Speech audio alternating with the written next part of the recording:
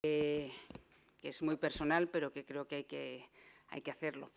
Cuando hablamos de globalización últimamente y en muchos casos pues, por razones muy desafortunadas, siempre parece que tiene ese matiz negativo. Es decir, eh, vemos los inconvenientes de la globalización, eh, las eh, desgraciadas consecuencias que tiene en algunos casos, pero se nos olvida que también la globalización tiene partes muy positivas. Esas partes positivas es eh, la unión de objetivos, es decir, el declarar una serie de objetivos, como en este caso pues son los 17 eh, Objetivos de Desarrollo Sostenible, que nos obligan a todas las naciones. Que es cierto que nos obligan eh, moralmente, que a veces no es fácil o quien quiera puede escabullirse de ellos. Pero a las naciones y a los estados a los países, como puede ser España, con un nivel de desarrollo, nos eh, condiciona y nos debe de condicionar todas nuestras actuaciones. Por eso, eh, todas estas declaraciones, que además pues, son eh, llamativas, son muy importantes, necesitan pues, un desarrollo a lo largo del tiempo, necesitan un desarrollo con tiempo, eh, nada se hace de la noche a la mañana y sobre todo, sobre todo, necesitan que se adapten a la realidad de cada lugar y que haya mm, personas, entidades y, por supuesto, administraciones públicas que se lo crean y lo lleven a cabo. Por eso os decía que creo que el hacer hoy una jornada en la que se puede bueno, pues, eh, mostrar ejemplos, hablar de una forma más directa, es traer a nuestra realidad esos grandes objetivos eh, mundiales que, como digo, a veces parecen grandilocuentes, pero la mayor parte de las veces son eh, palpables o podríamos hacerlos palpables en nuestras propias actividades. Quiero por eso agradecer, pues ya veo aquí que hay representantes sindicales, hay representantes de organizaciones eh, eh, dedicadas al mundo de la discapacidad, eh, al mundo del empleo, empresas que ya han dado este paso, es decir, que ya entienden perfectamente y tienen asumido lo que es la responsabilidad social empresarial, empresas que creemos que este es el momento también para que se, sensibilicen y puedan tener pues en la figura de esta asociación o de la forma que corresponda o que quieran eh, su parte y por eso pues eh, no podíamos eh, por menos que venir para apoyar de alguna forma desde la parte institucional pero también para contar por qué no lo que hace la Junta de Castilla y León.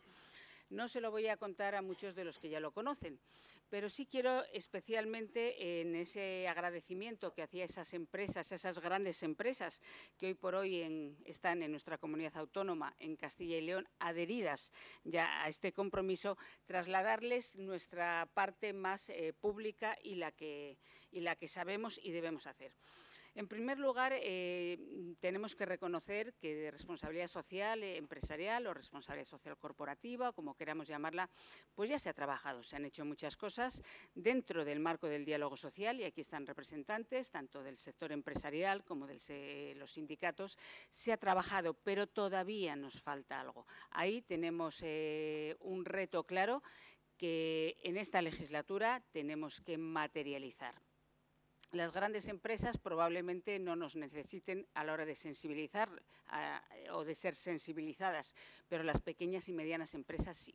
Necesitan que tengamos pues, esa, una serie de, medida, de medidas, una serie de, actuaciones que de alguna forma difundan sensibilicen y también eh, compensen y ayuden a la puesta en marcha de esa responsabilidad social. Eh, todos los acuerdos de la Junta de los últimos años, los acuerdos de competitividad, pues eh, han hablado de responsabilidad social.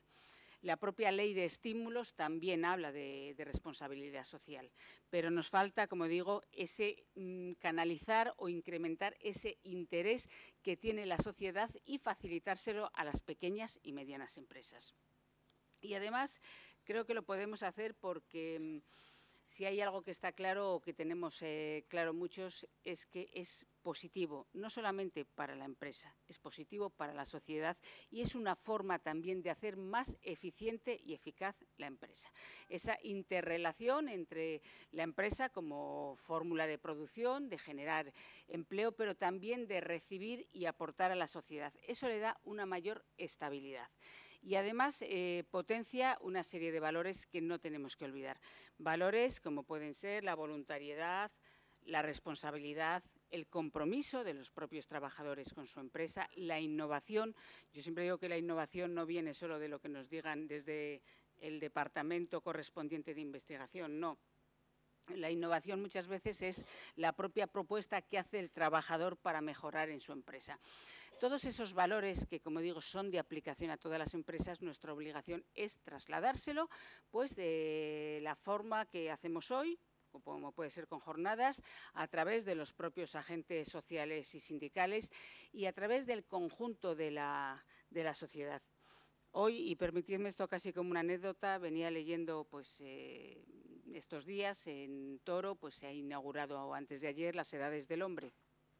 Y hablaba el alcalde de Toro y hablaba orgulloso pues, de la implicación que había habido en la ciudad, de cómo se habían comprometido eh, los ciudadanos. Lo vi, bueno, pues eh, como buen alcalde, pues, pues presumía de, de lo bonito que estaba todo. Y una de las críticas que le hacían era que si había habido muchos voluntarios, que es que había habido mucha gente que había estado como voluntaria pues eso no puede ser una crítica.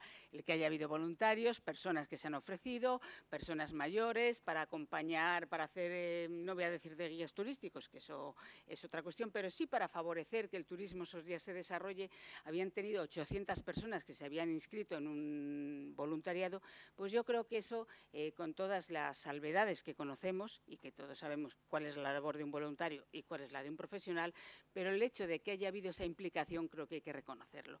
Y eso es al fin y al cabo lo que es la responsabilidad social que valores importantes, que valores personales se trasladen a la actividad eh, productiva.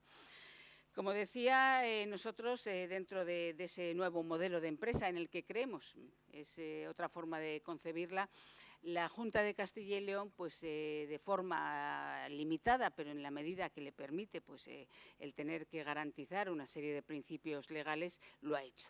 La Junta de Castilla y León, y muchos de los que están aquí, pues lo conocéis perfectamente, tiene o ha querido incorporar una serie de cláusulas eh, sociales o de condicionantes sociales a la hora de su parte mm, empresarial, es decir, cuando la Junta es prestadora de servicios y los tiene que, dar a los ciudadanos. En este caso eh, ha habido pues, eh, medidas que no todas las comunidades autónomas las tienen, por lo que personalmente pues, nos sentimos orgullosos de tenerlas en Castilla y León como puede ser pues esa reserva de contratos a centros especiales de empleo y empresas de inserción que llegan a ser pues un 6,5% del volumen de contratos de la Junta. Es decir, que estamos hablando de una cantidad importante de contratos del sector servicio, de la hostelería, limpieza, eh, publicidad, etcétera. De hecho, mm, aquí, en este edificio en concreto, en el edificio de Arroyo, la parte del sótano eh, está eh, adjudicada a un centro especial de empleo, la parte de limpieza y mantenimiento, y el resto, pues, a una empresa ordinaria. Creo que esa es la fórmula de trabajar. Eh, los centros especiales de empleo, las empresas de inserción, las cooperativas, son una fórmula de economía social que no impiden la otra. Cada una tiene que tener su lugar. Y yo creo que nuestra obligación es definirlas correctamente para evitar pues, una, una competencia injusta, pero también para favorecer a quienes más dificultades tienen.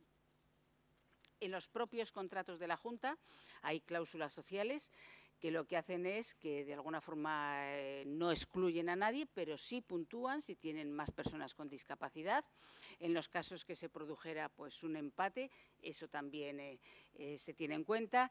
También de alguna, de alguna forma, si esas empresas se contratan con proveedores que trabajan con centros especiales o con personas con discapacidad, se favorece y creemos, como digo, que ese es el ejemplo que tenemos que dar en nuestras propias eh, ofertas de empleo. Si la ley estatal obliga a un porcentaje al 5%, nosotros lo hemos subido al 10%. Y además, eh, en este, este, año en particular, lo que hemos hecho es que también haya una reserva especial para personas con discapacidad intelectual, porque son las que tienen pues, más dificultades a la hora de, su inserción laboral. Por eso yo creo que mm, camino tenemos todo.